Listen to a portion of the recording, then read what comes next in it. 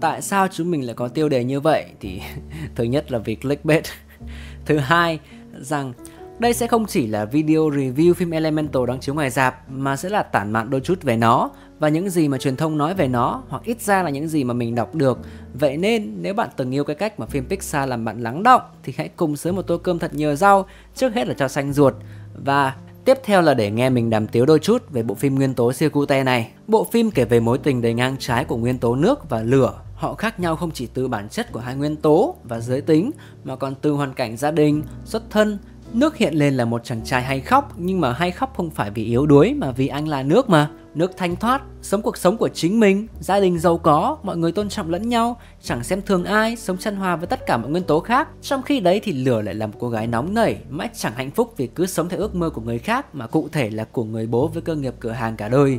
Lửa stress mà chẳng biết là mình bực vì cái điều gì. Rồi một ngày nọ họ gặp nhau trong một hoàn cảnh éo le hạt me, nước theo đường ống có vấn đề của thành phố nguyên tố phọt thẳng vào nhà lửa Hai người cãi vã trong cơn lụt lội đến từ thằng cha nước, tất cả là vì cơ sở vật chất không đảm bảo của cửa hàng nhà lửa. Nước là thanh tra và phải báo cáo điều này lại. Nguy cơ đóng cửa cửa hàng nhà lửa là rất cao. Hai người cứ thế va vào nhau trong cái sự đóng cửa của cửa hàng nhà lửa. Và hành trình mà lửa tìm thấy hạnh phúc thật sự là gì? Có thể thấy rằng câu chuyện này là một câu chuyện rất đỗi là câu chuyện khi mà nó đã quá quen thuộc với tất cả mọi người. Nhưng đấy là trên khía cạnh con người thôi Pixar đã thêm rất nhiều chất xám của mình để mà xây dựng một thế giới nguyên tố không chỉ màu sắc lung linh mà còn rất đỗi đáng yêu khi mà chúng tương tác với nhau. Có một cái điều mà mình rất là thích ở bộ phim này, đấy là tình cảm của lửa và nước nó không chỉ dừng lại ở cái tình cảm đôi lứa mà nó là cái sự đồng điệu về tâm hồn, một cái đôi bạn cùng tiến kiểu vậy. Lửa thì học được từ nước cái phẩm chất hào sảng này, sống cho hiện tại này, bất overthinking này và ngược lại nước học được từ lửa khả năng sáng tạo và nhiệt huyết trong mọi hành động và đam mê cả hai đều có những khuyết điểm, nhưng mà lại chỉ là động lực để mà khuếch đại ưu điểm của nhau. Nghe có vẻ cờ xanh phết. Ở phần tiếp theo, mình muốn nói một chút về phần lời thoại có thể nói rằng ngoài phần hình ảnh quá đẹp đẽ từ đội ngũ kỹ xảo mà khả năng cao là mắc bệnh trĩ thì yếu tố quan trọng tiếp theo mang lại thành công cho phim là những câu thoại Nguyên tố nước là một nhân vật rất là thú vị và nên là cái dạng người mà những đứa trẻ hướng tới. Ở nước có cảm giác đúng kiểu you have no enemy, cậu chẳng có một chút hận thù nào với thế giới. Mọi thứ tồi tệ xảy ra và cậu sẽ chỉ tìm cách chứ chẳng hề than thở hay trách móc gì số phận. Nước cũng chẳng phải là cái dạng mở mồm ra là mọi người cười đại tiện, nhưng mà cái sự hài của cậu lại chính là cái sự lạc quan, cái sự nhìn nhận mọi việc một cách vô cùng tích cực. Cái sự lạc quan này không phải là giả tạo và cố gắng tạo vỏ bọc vì khi đến thăm gia đình nhà nước thì mới hiểu rằng là bản chất của họ là như vậy nhẹ nhàng như nước thấu cảm với mọi thứ kể chuyện hài là không. Thậm chí có cả một cuộc thi kể chuyện hài trong nhà nhưng cái sự vô tri đó phản ánh chính xác các bản chất con người họ vô lo vô nghĩ vô tư. Những câu thoại của lửa thì lại hơi mang nặng cái tính ý nghĩa cuộc sống. Một cô gái nhỏ phải còng lưng làm bà cụ non khi mà chứng kiến bố mình ngày một già yếu có một nhân vật phụ khá là đáng yêu, nhưng mà cứ lên tiếng là mọi người phải ỏ một phát. Đó là nguyên tố mộc với hình hài là một cái cây có hoa mọc từ nách. Mặc dù là hơi mất vệ sinh khi mà cứ hoa mọc là tặng cho chị lửa, nhưng mà cậu bé này có những câu nói mà không ai có thể ghét được, chắc là trừ những bông hoa. Những cái dòng hội thoại của bố mẹ nhà lửa cũng mang nặng tính chất của một gia đình truyền thống. Cứ mải mê cùi áo gạo tiền mà vô tình quên mất đi những ước mơ của con trẻ. Nhưng có một thứ sẽ giúp chúng ta không quên những ước mơ. Đó chính là tai nghe One Audio A70 Mẫu tai nghe không dây hiếm hoi trên thị trường có thời lượng pin lên đến 72 tiếng, nghĩa là 3 ngày đấy. Nhưng đỉnh cao hơn phải là mức giá của nó, chỉ 1 triệu đồng. A70 sở hữu màu đen, tức là không chỉ mang lại chất lượng về âm thanh mà còn phù hợp để trang trí phòng theo chủ nghĩa tối giản. Làm từ da tổng hợp và nhựa, thiết bị của One Audio sẽ dễ dàng cho việc vệ sinh tai. Đệm tải mềm, êm, làm từ chất liệu da cao cấp, các phím thao tác nhanh được bố trí hợp lý, cung đèn led để thêm phần màu sắc, lại còn tặng kèm túi đựng tai nghe duy nhất từ ngày 1 tháng 7 đến ngày 7 tháng 7 cho khán giả của kênh The Reviewer. Mua trên Shopee được tặng đồng hồ báo thức cute, TV màn hình LED, đèn ngủ trị giá 299k. Còn chờ cái gì nữa mà không lượn ngay lên đồ chơi công nghệ Seven? Link chi tiết ở phần mô tả ở bình luận. Quay lại vấn đề thì nói chung là những câu thoại trong phim này được xây dựng rất là xuất sắc.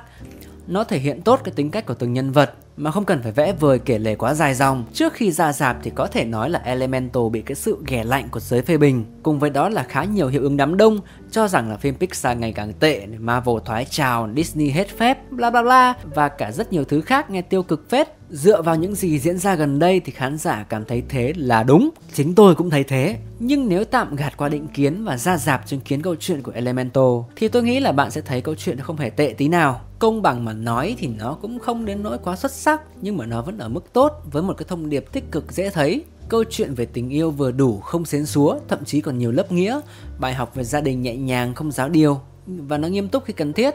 Nhân vật đáng yêu, dễ nhớ vì cá tính đặc biệt. Cái chủ đề nó không to lớn và nặng tính nhân sinh như là Soul, nhưng mà như vậy đã là tròn trịa và đẹp đẽ với nhiều tệp khán giả. Có lẽ Disney đang tự hại chính những tác phẩm của mình khi mà khán giả bây giờ ngày một ác cảm với những sản phẩm của họ, ngay cả khi nó chưa được ra mắt, hoặc cũng có thể do cái sự bão hòa nội dung ấy, nó khiến nhiều bộ óc trở nên chai lì.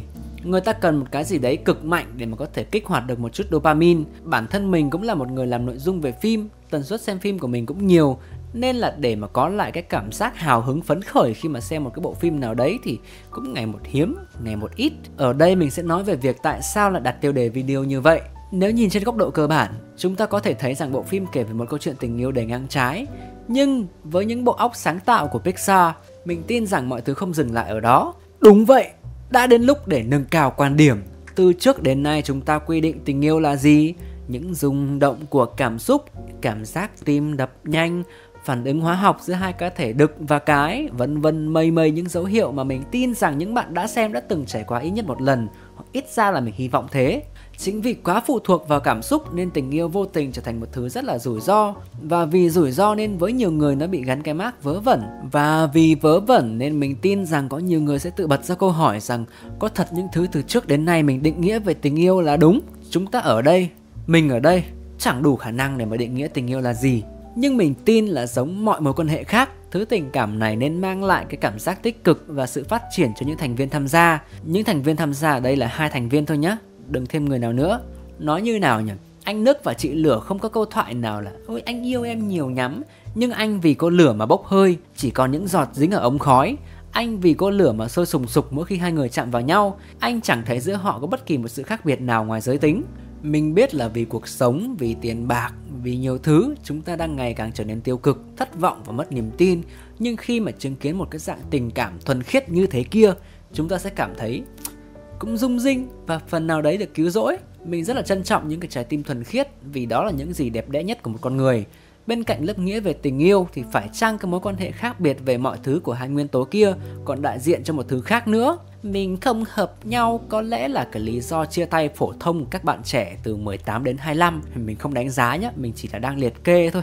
Nhưng mà rốt cuộc thì như thế nào mới là hợp thổ sinh kim à bản thân chúng ta cũng có những cái thời điểm không chịu nổi mình thì mình tin là hợp nhau cũng chỉ là một cái cớ thôi và khi muốn thì tìm cách chính xác là như vậy nước không ngại cái việc mình sôi lên, chỉ cần có lý do thôi. Nước không sợ bố của lửa kỳ thị, chỉ sợ lửa từ bỏ thôi. Có lẽ trong mắt nhiều người nước hiện lên có phần hơi thiếu nam tính, đặc biệt là gia đình lại còn có truyền thống hay khóc nữa nhưng mình lại thấy nước mới thật sự là một người con trai mạnh mẽ, dám sống thật với cảm xúc của mình. Vui khóc đúng chỗ, vô cùng thấu hiểu, nhẹ nhàng chứ không gò bó. Một cậu bé sợ miếng hút ẩm nhưng mà không sợ để cả thế giới biết.